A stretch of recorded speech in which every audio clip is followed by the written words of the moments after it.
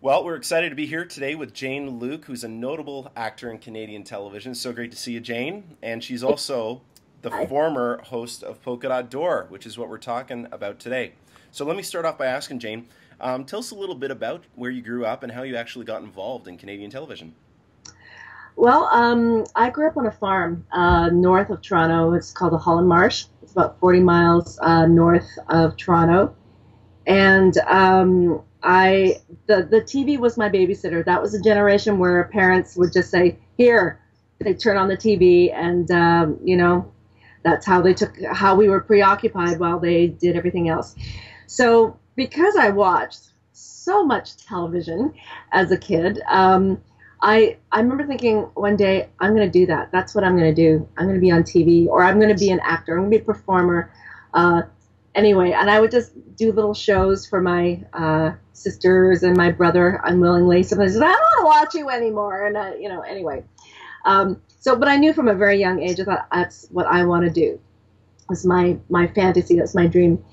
Um, yeah, I took a. Uh, I decided to. Uh, I went to a school, uh, Humber Theater. I studied theater, and as I got older, I knew, you know, you just don't become a movie star. So there's uh, the craft that's involved, and um, so I went to a three-year program and learned. Uh, it was a good course uh, at the time because I learned about backstage like, uh, production aspect of it, and um, yeah, after I graduated, um, one of my teachers um, uh, was producing a, a kids show uh, that was touring around all the parks during the summer. So that was my very first job uh, out of the gate after I graduated.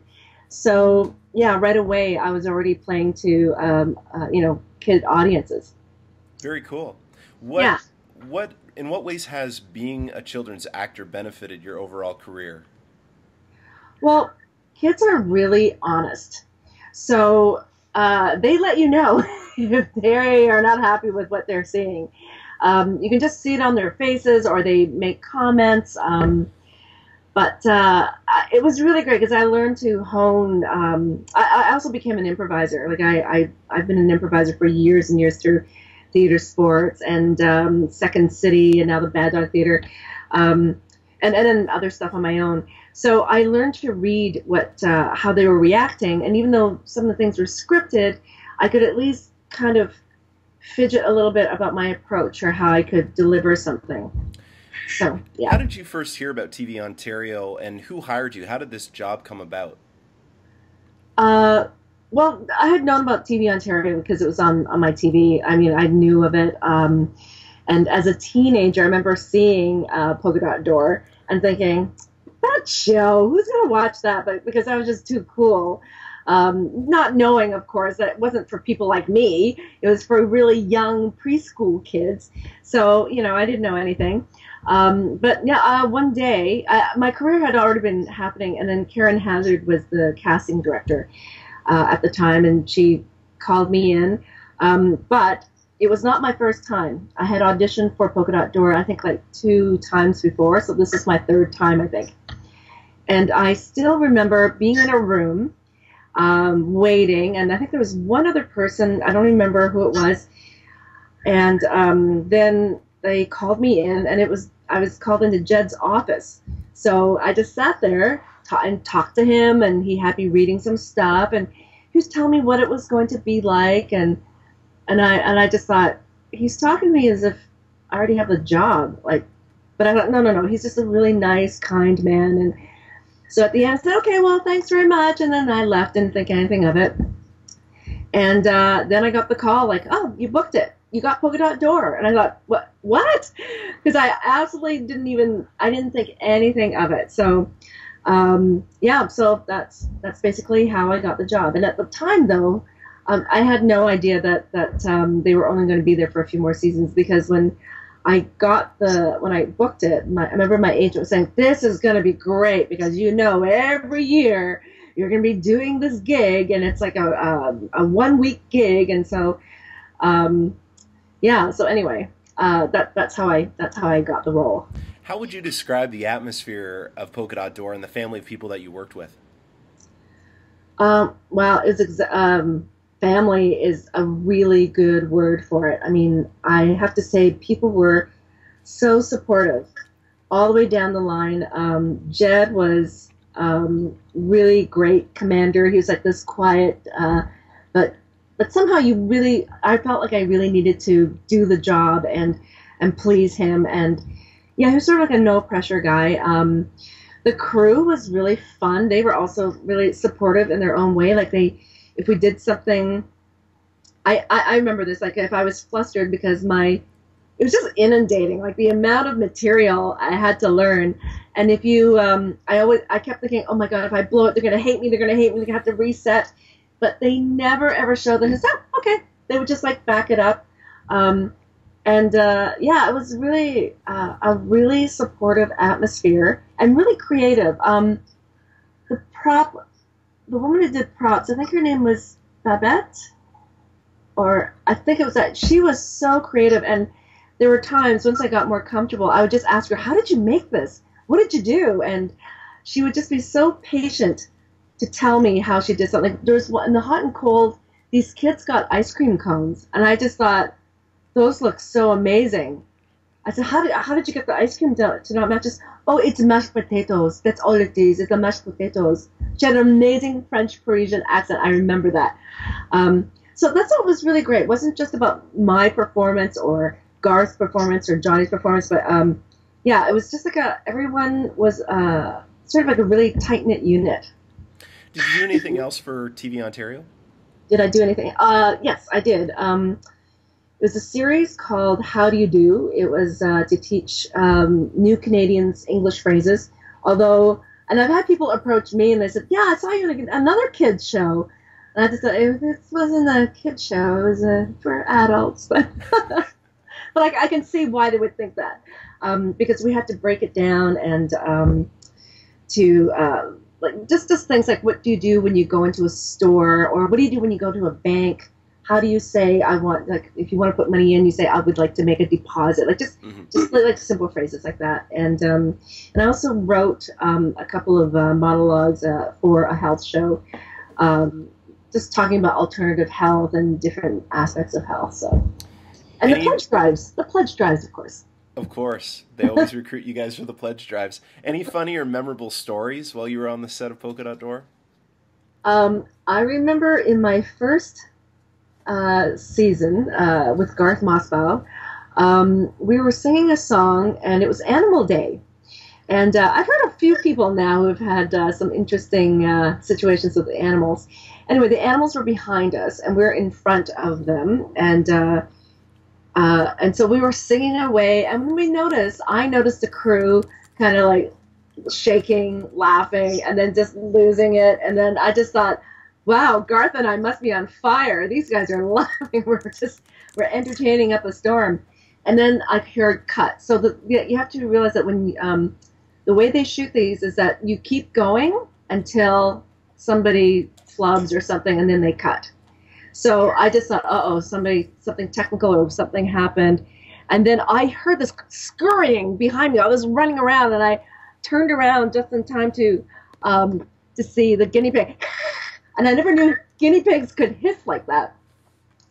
So they were all laughing. I said, what, what what's going on? They, and they said, uh, well, GP didn't like uh, those amorous advances that Bunny was coming onto him with.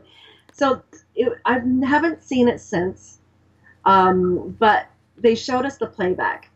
And so there's Garth and I singing along, and uh, behind us, the bunny uh, was, you know, making an amorous uh, um, motion towards the guinea pig. And as he got closer, the guinea pig let him know, no, no, no, don't bug me. Then the guinea pig reared up and just started chasing that rabbit around. The, and the guinea pig was smaller than the bunny was chasing it around and around and around until it finally cornered and just like was hissing, and that's the part when I saw it. So I just thought, boy, I would love to see that again. It was just, yeah. Anyway, that was one thing I remembered because it was uh, so totally unexpected. And they they'd say to me, you know, with animals, you just never know what to expect. And I thought, well, I didn't really expect that. So we all had a it was really good, fun laugh after. Well, Jane, I have a, I have a surprise for you. I have that clip, and I'm sending you the what? link. I, I, have the I just sent you the link over Skype. So why don't you bring that up and let's see your reaction while you watch that. Okay, let me just look here. Oh my god, I can't believe you have it. Jed gave this to me, um, and I, I actually provided it to um, a colleague of mine who does some similar archiving, and he has it up on his Daily Motion site. Um, you know what? I I haven't. Uh, no, I don't have it yet. I, I actually just um, in the Skype chat box. Oh, see, hold on. Okay. Oh, here.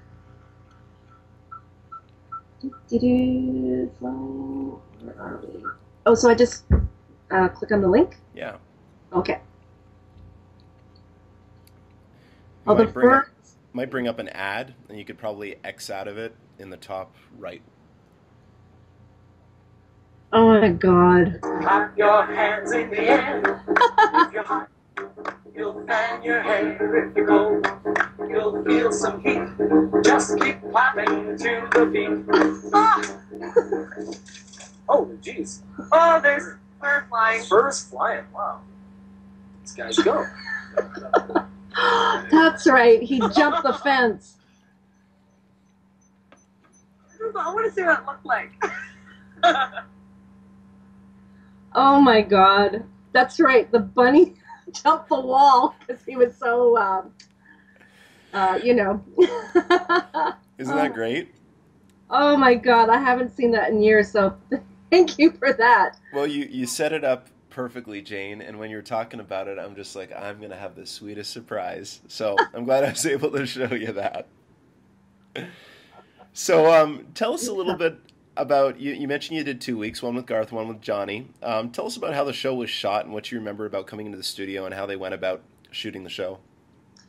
Well, um, I think even to this date, it was one of the hardest jobs I ever did. Uh, I never, I worked so hard um, because the uh, month before I was handed uh, the scripts and they were like, I'm not even exaggerating the size of a phone book. When I looked at it, I thought, oh my god. Um, and uh, for the hot and cold, it was very. Um, it was all about hot and cold. So it started every every show started with a game about hot and cold, and it was all kind of similar. So I just had to like figure out a way to just really focus. Once I have an overall um, idea, I just just focus on the script that I have to do on the day. So we would um, block out five days. So the first um, two days were meant for uh, technical blocking. So we would just go through it and, and just like go through the lines and everything. And then this, and then three days, excuse me, were set to um, shoot them back to back. So we shot all five episodes back to back in a three in, in three days. Um, so my I remember the first time I had my break, and uh, and it was Garth's first time too. So we were both the newbies. I didn't know we didn't have any uh, models to go after. So we just said, well, we'll just do it the way we, want to do this. And so um, at our first break, I remember talking to the crew and everything, and, and, and just like, uh, you know, just like, good, it's a break. I just need a break. But that was, for me, my mistake. I learned from that because I thought, oh, I'm not in the zone anymore. Um, because it was so hard for me to get back into it. Like, where, where am I again? And then I got all mixed up with my hot and cold. Like, which hot and cold craft are we doing today? oh, it's just um. So after that first one, I thought a break just means I can go back and look over my script for the next part. I said I'm not. I love the crew, but I can't fraternize with them right now, and um, I'll do it at the end.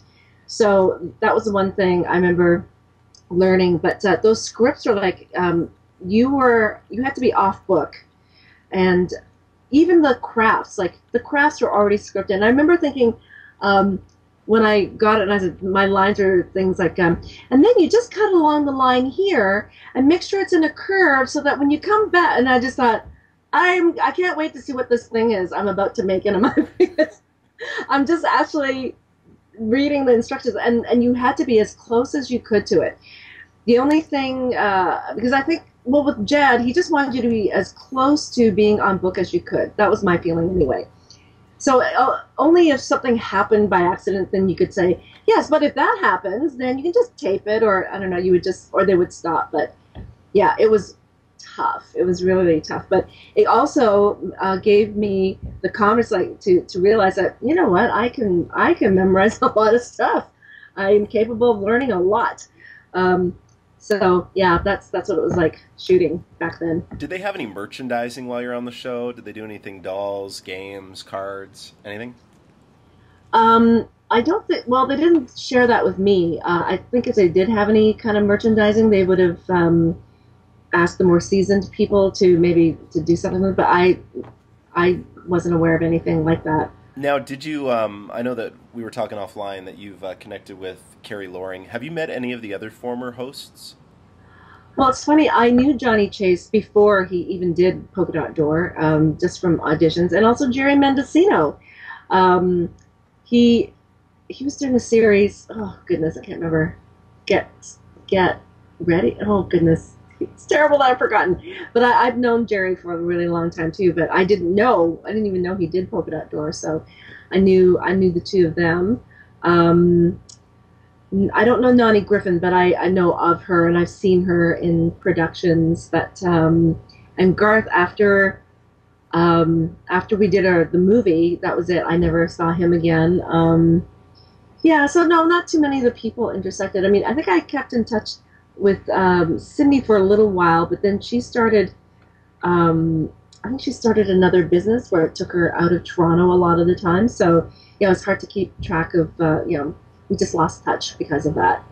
Um, did you say just the hosts or? Yeah, the hosts. Now you mentioned their um, Polkaroo Goes to Camp, the special that they did. Was that something specifically for videotape, or did they air that as well? No, as far as I knew, I I knew that was supposedly that was uh, geared for video.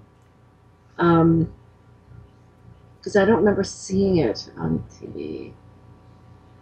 Yeah, I, I just remember it was uh, it was great because I got to work with the other hosts. Uh, some of the other I worked with Cindy, Johnny, Garth, Carrie, and then Jim Codrington mm-hmm. uh, for once. Um, there it wasn't one of the other hosts. Oh, should I reveal the the ter- the secret of Polkaroo, who played Polkaroo. Um, well, you, they pro- people probably knew. Uh, I mean, as they get bigger, they, they probably figured it out. But it was the other host who would always play Polkaroo. So when they showed up, um, usually it was the guy because they could fit the suit. I think Cindy was the only female, the only uh, female actor who played Polkaroo. Well, I'll let you. I'll let you in a little secret. year one, 1971. Nina Keogh and Gordon Thompson and uh, the year after Nina Nina Keogh and Alex Laurier, Nina played Polkaroo.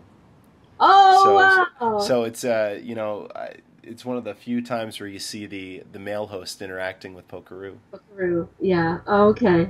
Well, we had an actual po- a designated Polkaroo person playing Polkaroo, so it was Jim Codrington, and Jim actually I see quite a uh, quite a lot um, at auditions and things. So um, yeah, he was our Polkaroo uh, for that for that particular script. Yeah. Did you sense at the time, Jane, that you were becoming part of something that really is a, a Canadian phenomena?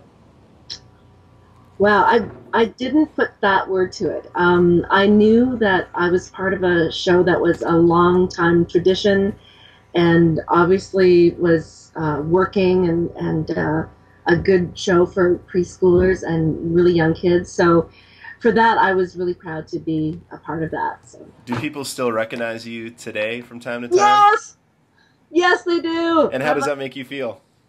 Um, it makes me feel like I uh, I must have a painting somewhere that I'm unaware of because I haven't changed the bit. They tell me. Um, you look the same. You haven't. the fountain of youth must run run into your taps at home. Well, I, I use really good skincare, so I always have. So I don't know but uh, I'm a, I think uh, I'm also a bit of a goof, so I think that keeps me young as well. I'm in com- I do a lot of comedy, so um, I think that helps when you laugh a lot. For sure. Uh, yeah, but uh, I remember I was in Winnipeg. I was doing a tour um, with some friends, and uh, we had just seen our space where we are going to be, and I had no makeup on at all, and I was like, "Ugh, I gotta go. Let's go get some dinner." And I was not in a. I was I don't know what my face was doing, but I was just walking along, and this woman just stopped. Excuse me, were you on Polka Dot Door? And I thought, you recognize me looking like this? And she said, oh yeah, my kids used to watch it, and oh, you were so great, and I just and I just thought, put on your put on your uh, polka dot door face, like a good face, so that she'll have a good memory to take away from that. This oh, we gotta get something to eat. So um, yeah, she recognized me. And then um, I don't know if you know who Anlyn Musico is. She's um, well, she's an amazing uh, musical theater performer, and she was on this show called it was a reality show, Canadian reality show called Triple Threat. I don't know if you ever saw it. It was a reality show to see who was going to be Canada's uh, triple threat for that year, sort of like a Canadian Idol, but but more for theater. And uh, Michael Rubinoff was the uh, producer of that. And uh, I was doing a show at the time called Utopia, um, and he produced that as well. So um, at one time when the show was running, he brought these the three finalists to the theater and I happened to be watching it, so it was really amazing. I just, oh my god, I know you guys. You and they were so they're so talented. These three kids, and the one was Anwin, and um, she said, "Why don't can we be Facebook friends or whatever?" And somehow we became Facebook friends, and then she realized that I was not Polka Dot Door. So that's when she asked me, and then she said, "I used to watch you," and I thought, "How how old are you?" so um, yeah, so it's just funny how uh, people still recognize me, and I don't know, it's a mixed feeling um, because part of me is thinking like, oh, isn't that great that you still remember me? And then the other part is like, oh, you still remember me? so, but overall, it's actually it's actually pretty great. How does it feel to be associated with one of the most beloved Canadian children's shows? Um, is that similar to what we just your last question? Might be similar. Maybe asking in a different way though. You will forever, you know, be associated with this. How does that make you feel? Um, I just that's pretty amazing actually because um, what I thought was great about the show is that um, it showed adults playing the way kids do, and um, in a way that's really great for kids to see that, and uh, I think that's uh, and I'm a part of that, and I and I just feel like, yeah, if it it helped kids to um, to more you know become more creative or or come out of their shell, uh, yeah, then I'm. It's amazing to be a part of that. Why do you think Polka Dot Door has become so iconic to generations of kids and adults? Why why did it work for all those years? Um, well, I think for, for some of the reasons that I just mentioned, like where you could see adults playing. Right. Um, and I think Polkaroo, um, it's this weird uh, amalgamation of a giraffe with a kangaroo with a, who knows, uh, my grandmother's quilt, I don't know. Um, and you come up with this creature uh, that's uh, always happy and friendly. And um, at the time, I think even Sesame Street didn't have anything quite like it, but um, it was I don't know, it had all the magical things that came to come together that, that made kids sit up and want to watch and listen. And last question: Did you retain anything from your time on the show? Did I retain anything? Um, you mean like memories and? Well, photos, scripts, anything. Oh, Yes, I have my two phone books of scripts. They were they were like thick. They were each this thick, five scripts, all to be memorized for the one week. So um, I have those somewhere um, in a storage. Um, I, there were there were no T-shirts or anything like that. I remember we wore T-shirts for them for Poker Goes to Camp, but we didn't get to keep them. I never I never got anything really. So um, I think Carrie Loring has a T-shirt, but uh, but I she's probably the only person I know who has anything like that. But no, I I don't really I don't have anything except for my memories and you know I I have videos of my first season, but not my second season. I remember because we were Johnny and I were doing the um our uh, week. They were also planning. They were in pre-production and pre-planning for the uh, for the movie. So they were they had sort of a split focus um, sort of, I think my request got sort of lost uh, by the wayside, and I also forgot to request, like, to keep on them, like, can I get a copy? Can I get a copy? So, um, yeah, um, and I don't know. I may, I may never get one because if it doesn't air again, um, I, I don't know. I, I do have the one season though that I had with Garth, so um, that's pretty cool because that was my first one. So uh, yeah, and uh, I'm I'm reconnecting with some people. So I think that's um, another cool thing.